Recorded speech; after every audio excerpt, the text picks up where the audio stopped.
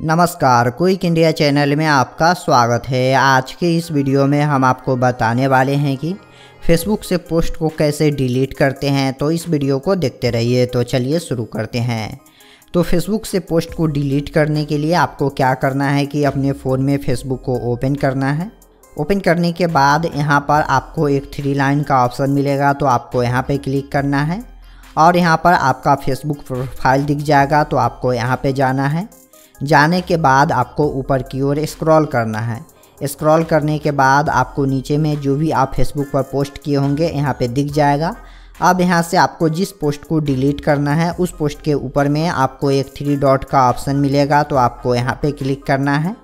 और नीचे में आपको एक मूव टू रिसाइकल बिन का ऑप्शन मिलेगा। अब यहाँ से इस पोस्ट को डिलीट करने के लिए आपको क्या करना है कि मूव टू रिसाइकल बिन पे क्लिक करना है।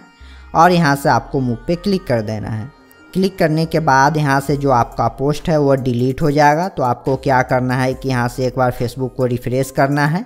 रिफ़्रेश करने के बाद यहाँ पर आप देख सकते हैं कि यहाँ से फेसबुक से वह पोस्ट डिलीट हो गया है।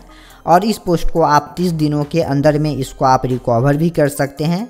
अगर 30 दिनों के अंदर में रिकवर नहीं करते हैं तो वह आपके फेसबुक से परमानेंटली डिलीट हो जाएगा। तो इस तरह से आप फेसबुक से पोस्ट को डिलीट कर सकते हैं। धन्यवाद।